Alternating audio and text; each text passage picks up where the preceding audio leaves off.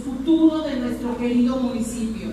Elvira Paniagua Rodríguez, presidenta municipal de Celaya, rindió su primer informe de gobierno donde se enfocó a los temas de seguridad.